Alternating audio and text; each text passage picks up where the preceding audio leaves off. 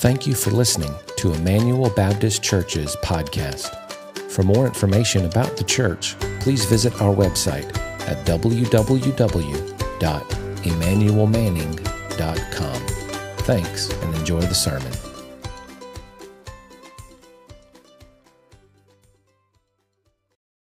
And what I want us to look at tonight together is 1 Peter chapter 1, uh, verse 10 to 21.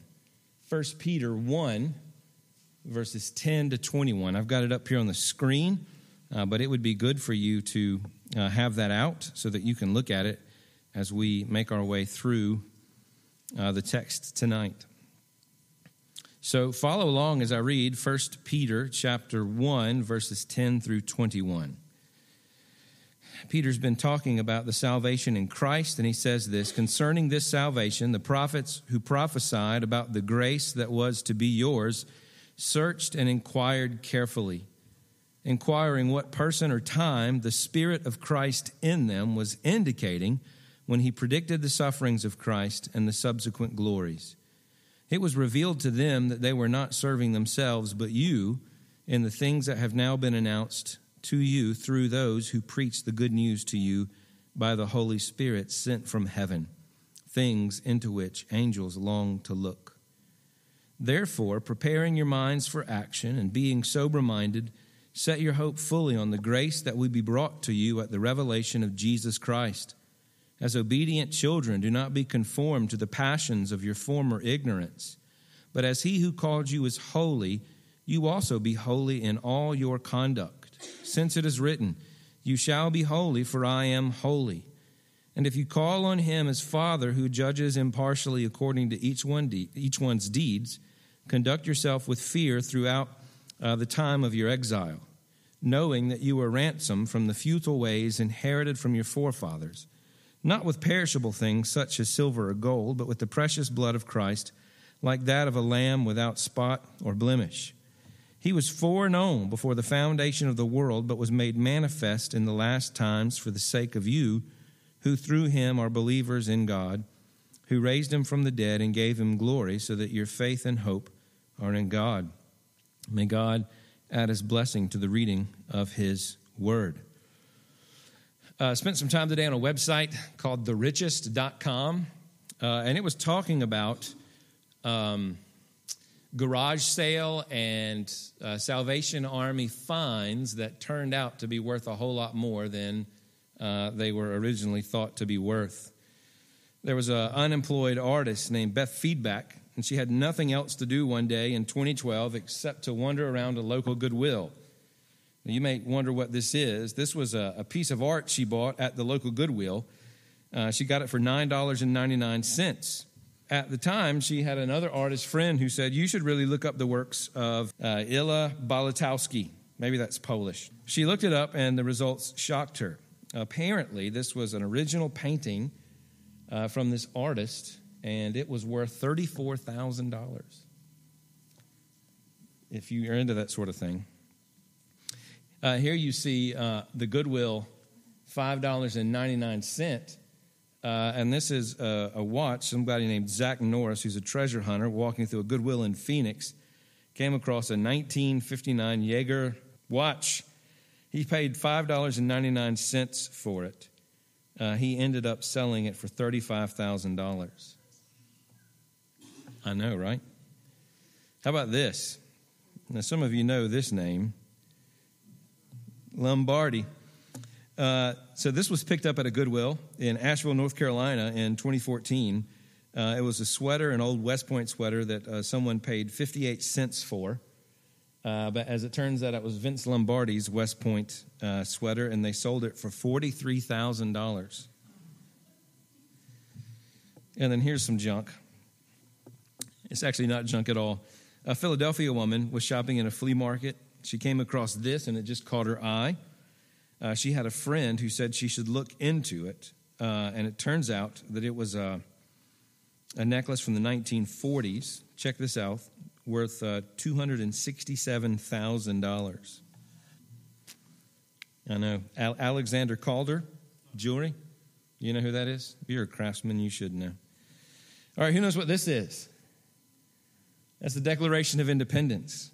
In 1991, an unidentified man pulled $4 out of his wallet for an old picture with a wooden frame during a flea, flea market trip in Pennsylvania.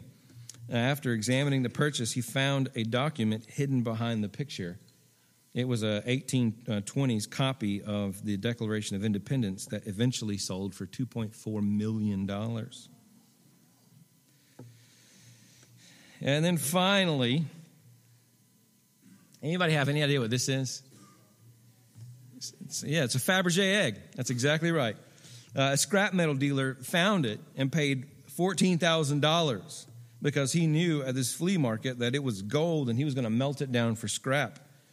Uh, turns out he got it valued and it sold for over $30 million uh, at an auction. There's only 50 of these Fabergé eggs uh, in existence, and only 43 are accounted for now. Only 42, I think, up until the point he found that. Sometimes you have something that you don't know what it's worth until you stop and think about it, or you examine it, or you talk to other people about it. Uh, and what I wanted to do tonight, using this First Peter passage, as I look at it, is talk about why your salvation in Christ is so valuable. It's something that you have that very often we don't treasure nearly enough. Uh, and it's understandable. One of the hardest things in life, and one of the habits that we need to develop most, is day in and day out figuring a way to again be just moved by the gospel. Because if you're not on a, some sort of regular basis moved by the gospel, it just becomes rote and we forget uh, how little, how much value it has. It just becomes another thing in our life, just another small piece of our identity. Uh, and Peter, in the passage tonight, uh, just takes our eyes and he focuses them on salvation and he focuses them on why salvation is so valuable. So we got the gasp you know, when I said that guy paid $14,000 for a Fabergé egg, you thought, well, what kind of deal could he have gotten? Then when it was worth $30 million. As I was thinking about this morning, I, I thought about just what Jesus said that the kingdom of God is like a treasure hidden in a field, right? A man discovers a treasure buried in the field, and for joy at his find, he goes and he sells everything that he has that he might uh, get this field. Jesus himself believes that the gospel is a treasure. And we all kind of gasped when we heard $30 million, right? Uh, may God make it so that every single one of us would gasp again and again and again when we realize the value and the treasure, what Jesus has accomplished for us on the cross. So, why is salvation so valuable? Well, I'm a schmuck. I'm not going to do enough justice with it tonight myself, am I? I don't value it nearly enough either. But I, I want to just talk through a few points as to why the gospel is so valuable. First of all, the gospel is valuable because it saves us from ignorant futility. Uh, what do I mean by that? Listen to what Peter says in verse 13 and following. Therefore, preparing your minds for action, being sober minded, set your hope fully on the grace that will be brought to you at the revelation of Jesus Christ. As obedient children, do not be conformed to the passions of your former ignorance. But as he who called you is holy, you also be holy in all your conduct, since it is written, You shall be holy, for I am holy.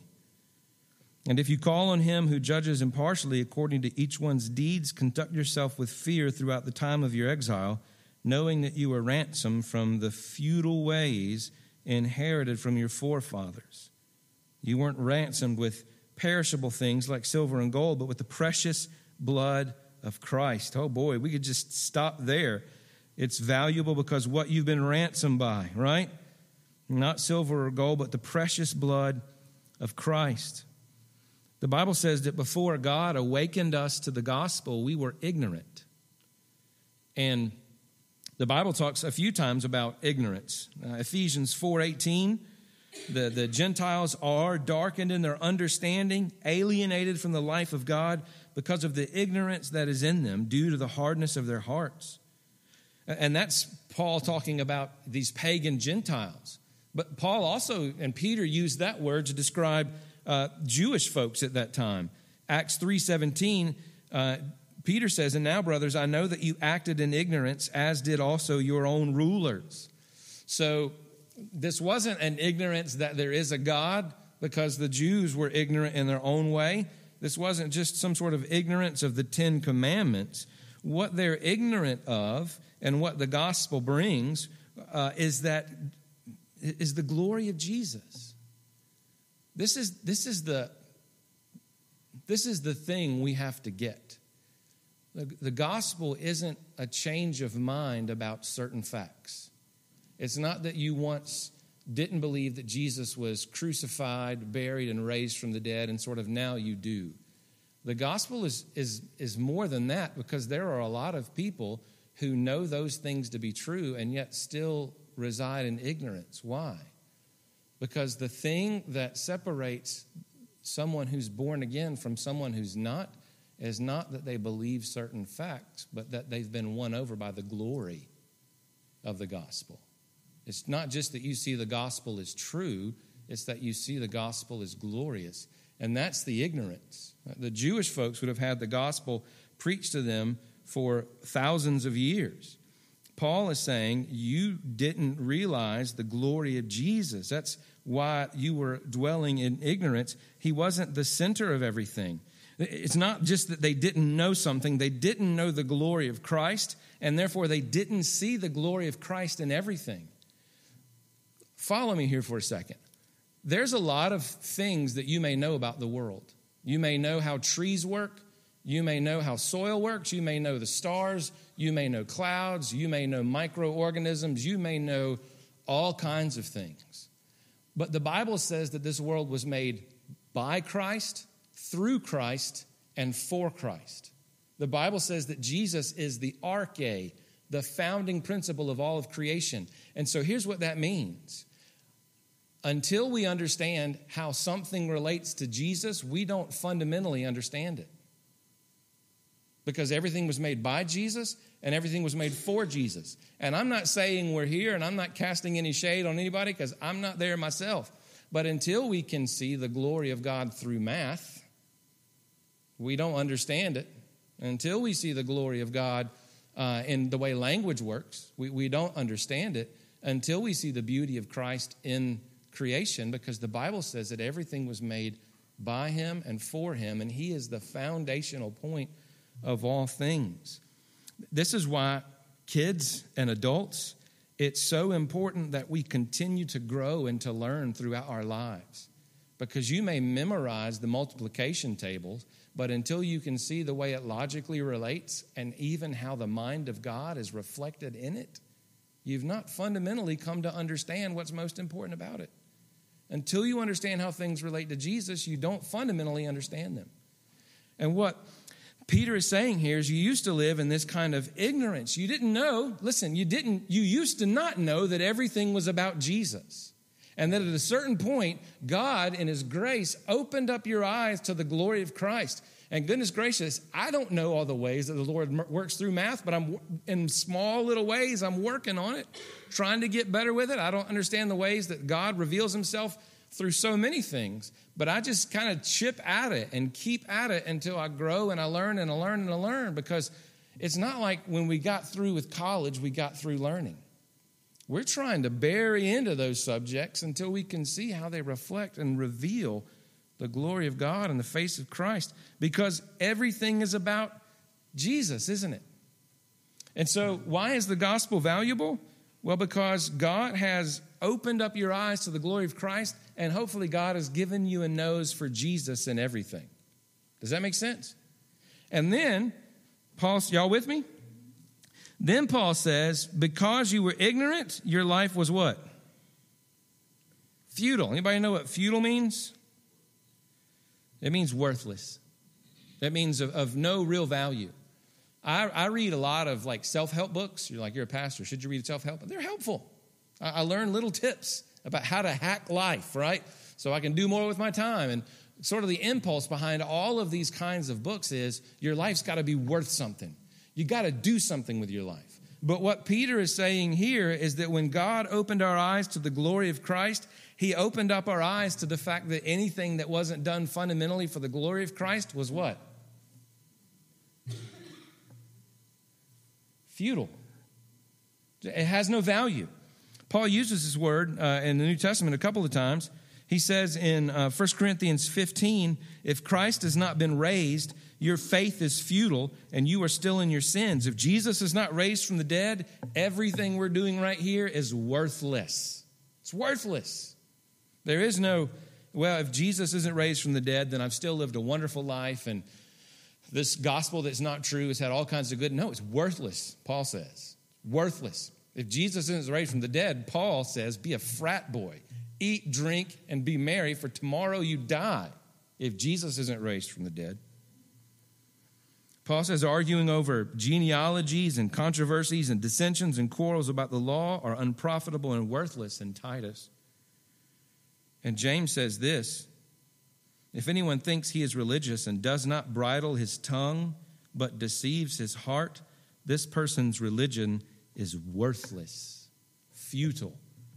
A couple weeks ago, we saw, uh, we were down in Savannah. They have a port in Savannah. We saw one of those huge ships come through with all the containers, you know, stacked like 16 high, 16 wide. I couldn't get my mind across how big the boat was that was like 200 yards away from me. And I just, I thought, thought this to myself and I said it out loud to my kids. All of that weight, all of that size is guided by a rudder. That's small. James says, Your tongue is like that. So no matter how you think you live or what you claim, if there's no control over this thing, your religion is what? Futile. But the Bible says that because our, our hearts have been awakened to the glory of Christ and the gospel, the, the Bible says that our uh, lives are no longer futile. If it, listen to me, anything you do for Jesus, uh, re- redounds to eternity. So you can do all, you can hike uh, Europe and you can, you know, I, I read a, today about a man who tried to get through Europe and Asia by the time he turned 40 because he wanted to hike all these things and see all these things. That's great. That's not the kind of stuff that Jesus is going to speak before God. The kind of stuff that Jesus is going to speak before God that will echo forever throughout eternity is when I was uh, in prison, you fed me. And when I didn't have clothes, you gave me clothes. And when I didn't this, I did. These are the kind of things that Jesus is going to just shout out before God with your name attached to it. In other words, we lived as if He was the Lord, no matter how small our life is, right? If we just live it in His service, it's not futile. And that's a gift that the gospel has given you. The gospel has given you this gift that you're no longer ignorant and the things that you do are no longer futile, no matter how small they are. So remember, you in the back, you got a lot of life ahead of you, a lot of dreams. And you in the front, you got a lot of life ahead of you and a lot of dreams. Don't make them so big that they're not guided by the gospel. Because you'll die and then you'll be resurrected. And that's when I plan to hike Europe and Asia on the new heavens and new earth. That's when I plan to get that done. In the meantime, I'm just going to be, as best I can by God's grace, a, a, a relatively unknown pastor in a small church in Manning to the best of my ability. And I'll, I'll catch the rest of that stuff in another life. And I'm not saying that this is second place to that.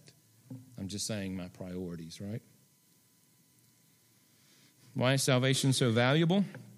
Not only does it um, teach you about the glory of Jesus, salvation prepares you for glory. What do I mean? Listen to what Peter says. Set your hope fully on what? On the grace that will be brought to you at the revelation of Jesus. Listen to me what Peter says. Peter says, You have an ability to set where your hope is. Our hopes are not just sort of like benign things that grow that we can't control. Peter says that you have the ability to take your hope and set it somewhere. That's a, and he says that it's the kind of thing that is sort of like it requires mental um, energy. It requires sober mindedness. In other words, there's a thousand promises in this world, and their job is to make your mind drunk, right?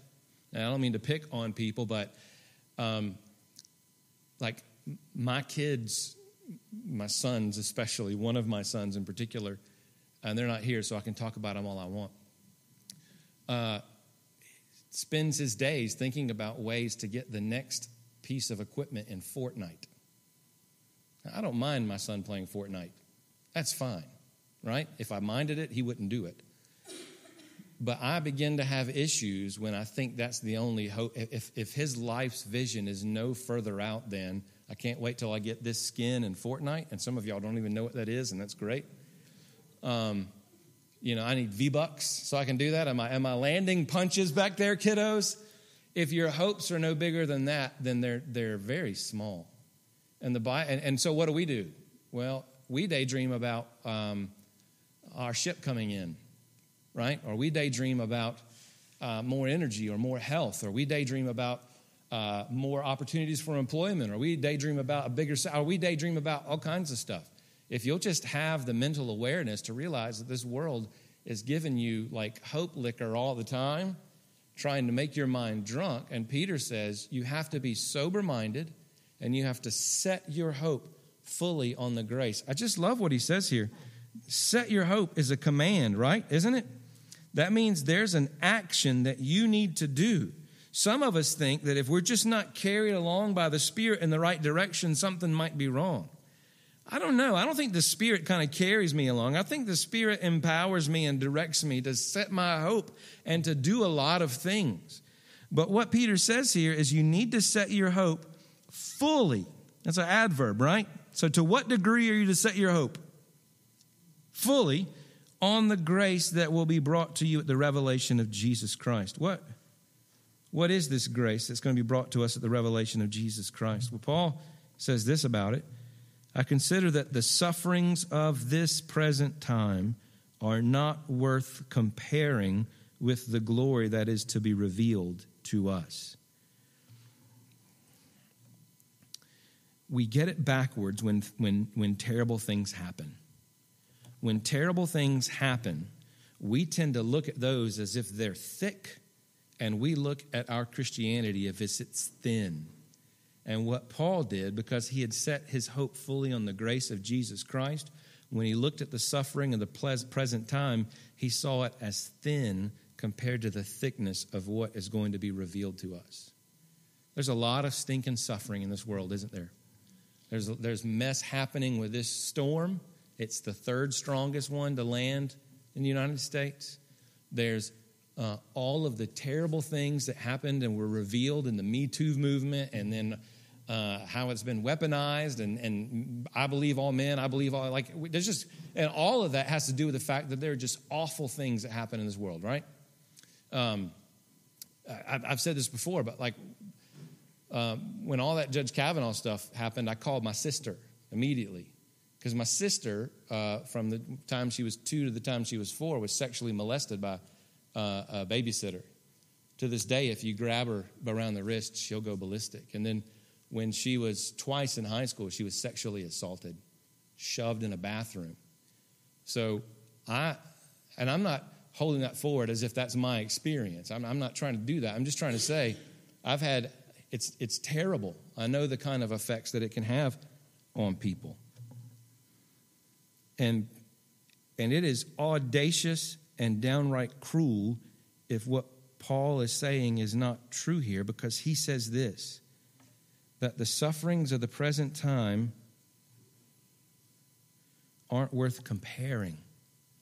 So, what we have to train our minds to do is we have to train our minds to realize that there's a deeper reality than just what I can see. And this was hinted at in the, the gospel, wasn't it? Because in the gospel, you had Jesus crucified, suffering all kinds of suffering and yet he was raised from the dead with a glory that has changed the world. That should give you a little foretaste of what God is going to do one of these days. We've all been, to one degree or another, through something terrible. Uh, we probably haven't been through anything near what the Apostle Paul uh, has, and he says that everything that he has suffered is not even worth comparing with the glory. And so the question is goodness gracious, this life is terrible And so, how good must that be? John says this, beloved, we're, we're God's children now, and what we will be has not yet appeared. But we know that when he appears, we will be like him because we will see him just as he is. So apparently, Jesus is so glorious that the moment that when he returns, you see him, he's so glorious that it's going to change you. It's going to evaporate sin out of you. And in a second, his glory is going to be so full that you just switch and you immediately look like him. You will either immediately turn into a reflection of the glory of Christ, or you will be laid low like a leaf burning in a fire. Jesus' glory is such that in a minute it just changes everything. Uh, Paul says in Philippians, by the same power that caused him to raise uh, Jesus from the dead, God in a blink is going to change. And so what happens is, why is the gospel valuable? The gospel is valuable because the minute Jesus appears, you will be screaming in victory and not in horror. And in a second, you will not be like a leaf that has been burned. You will be like a star in the heavens. And because His glory has the power to do that. Salvation is valuable because it prepares us for glory. Salvation is valuable because it makes God our Father. Peter says this we're to do all of this not as slaves but as obedient children.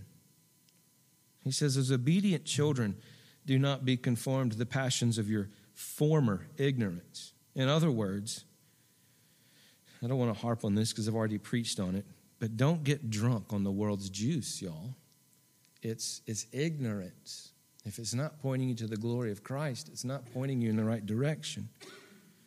Don't be conformed to the passions, but he says, as obedient children. So it's not God yelling down at me, hey, you slave, get out of your ignorance. It is, son, son, come on. You know better than that. You know what's valuable now. As obedient children, do not be conformed. And listen, being God's child, we have to sit and stew in the gospel until that's fundamental to our identity. And this is a point I make a lot, but I want you to see what happened in Paul's life when he became a believer. This is Paul talking about his former life, all right? If anyone else thinks he has reason for confidence in the flesh, I have more circumcised on the eighth day of the people of Israel, of the tribe of Benjamin, a Hebrew of Hebrews, as to the law of Pharisee, as to zeal, a persecutor of the church, as to righteousness under the law, blameless. This sounds a whole lot like the mental list that I have in my head to make me feel better when things don't go my way. Y'all have that list? Right? Uh, this sounds like Paul's list. Now, I just want, so, so this was central to Paul's identity uh, of the tribe of Benjamin, a Hebrew of Hebrews. That means, as opposed to most Jews at the time, he spoke Hebrew and not just Aramaic and Greek. Uh, as to the law of Pharisee, as to righteousness under the law, blameless. So this was the center of his identity. I have achieved, I am in God's people. That's Philippians 3. Now look what he says in 1 Corinthians 9 19. This is where Paul says, I'm all things to all people that I might win some. Listen to what he says here. For although I am free from all, I have made myself a servant to all that I might win more of them. Listen to this. To the Jews, I became a what? Do you understand what he's saying there? If, if in order to win people to Jesus, he has to start acting Jewish so they're not offended, that means that Paul normally doesn't act what? I just want you to let that soak in. His whole identity was built around the fact that he was a righteous Jew. And after Jesus came, his whole identity had been so shifted that now when he's around Jewish people, so as not to offend them, he acts like a Jew. What, what, what am I trying to say there? Because this is a point that if you don't contemplate it, if you don't think about it, you don't get it. When Paul became a Christian, something fundamental happened to the way he thought about himself. All of the categories that he used to use he no longer uses, and now he just uses free man, no longer a slave, son of God. Now, why would I harp on this point? Why is salvation so valuable? Because it makes God our Father. Because here's the thing Like I was praying for someone in our church not too long ago, and I don't want to pretend like I'm too charismatic or that I'm a prayer warrior. Uh, I just bring all my good stuff forward to make you think that, right? No. Uh, I was praying for someone in the church recently, and here's what the Lord said. He's, he, he, just, Drew, really pray for this person because there's something that's holding them back in their minds, and they need to know that they're free of it. And I happen to know what this person had growing up in terms of parents, and they were terrible. And it just seems when I look at this person that he, she, uh, is just weighted down still by the words of long dead parents. And so when I pray for them, because I pray, I pray for you, I pray through our church's directory for you, right? Sometimes I let you know when I have. And sometimes the Lord just kind of says, This is specifically what I want you to pray. And so I went up to that person and I said, I was praying for you, and here's what the Lord said that you have something holding you back, and you need to let it go. And all of us have. There's, there's something in our lives that we identify ourselves by. And for most of us, unfortunately, it's something that happened to us, or it's something that was said to us, or it's something that we did. And so I want you to contemplate this not small point that from the moment you became a Christian, the fundamental way you need to conceive of yourself now is a free child of God. And the problem is, we, we just respond instantaneously to what we think we used to be. Well, this is what I am. This is my identity. I said this a couple of weeks ago, and I still think that this is a true point. The biggest problem in our society uh, is not that there's homosexuals in it. The biggest problem in our society is that most of us now uh, identify ourselves by who we're sexually attracted to or that we don't experience sexual attraction. And as Christians, what we kind of need to be doing with people who have like a Christian worldview is saying, we can work on who you're sexually attracted to, but the biggest problem is that that's what you think identifies you. How lame is that, right? We don't, we don't, so Paul, whose whole, y'all get my point? His whole identity was, I'm these things. And now his whole identity is free, free man, child of God. What, what you respond out of and how you respond kind of says what you are. And the great thing about the gospel, what makes it so valuable, is, is it makes God our Father. One final point. I probably could have expanded, like extended this list out but this is one that stuck out to me. Why is salvation so valuable? It was and is highly valued by the righteous. Now, what do I mean by that? Concerning this salvation, the prophets prophesied about the grace that was to be yours. What did they do?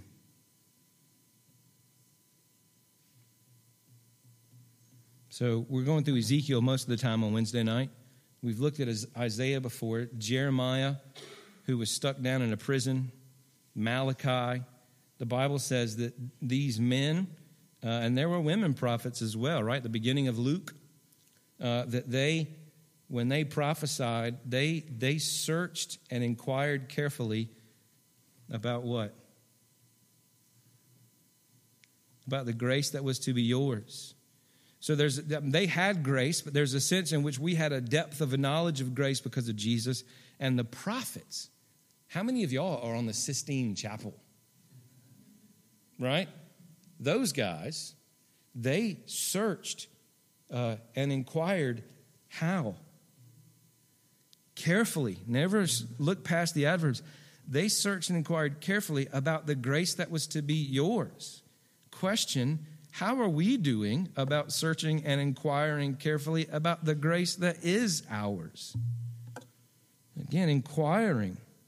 And then it says, It was revealed to them that they were serving not themselves but you in the things that have now been announced to you through those who preach the good news to you by the Holy Spirit. So we have those who preach the good news. That's the apostle by the Holy Spirit sent from heaven. And then check this out things into which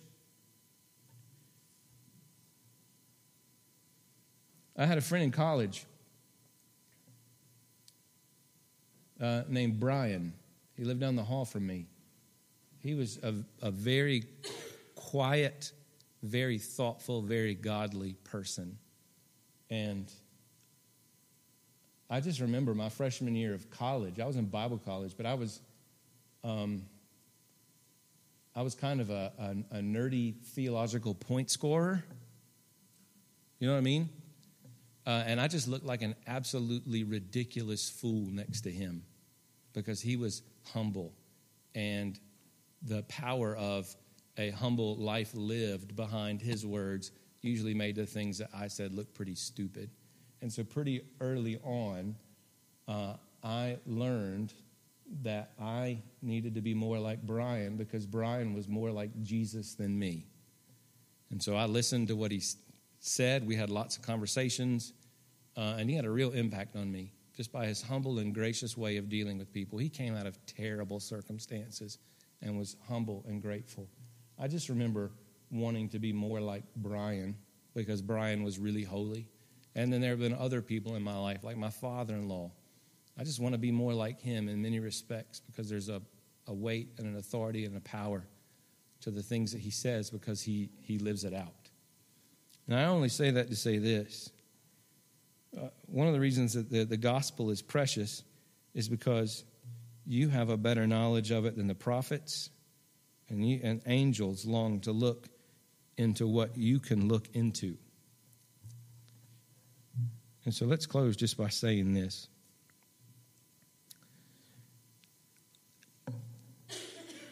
Um, our whole model of ministry here at Emmanuel is built around the fact that the gospel is powerful enough if we'll just engage it and let it be.